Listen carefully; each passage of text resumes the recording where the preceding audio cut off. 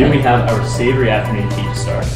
Uh, starting with this on the right hand side is our uh, arancini ball, stuffed with a risotto and a mushroom duck salad.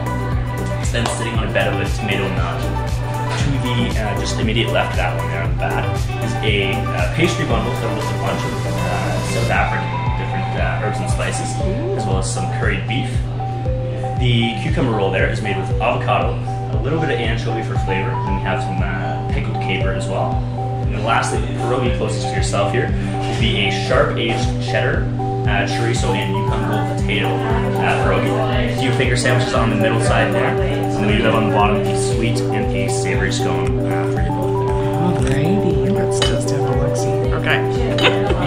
Thank you. This is just in between the both of you here. Alright, we have, starting with the chocolate one there, is a chocolate wrapped black forest cake topped with a cherry gel. So flavor profile on that one is all over the place. It's fantastic. Uh, the pink one there is a rhubarb and ginger mousse, which we've then uh, dipped in a white chocolate on a sugar-free base. Uh, we then have the macaron there, which is a cookie butter macaron made with a little cinnamon and nutmeg as well, so it gives a really nice overall kind of spiced flavor. And then lastly, the lemon meringue cheesecake with a uh, dehydrated meringue on the top, and then some lemon preserve as well. Thank you.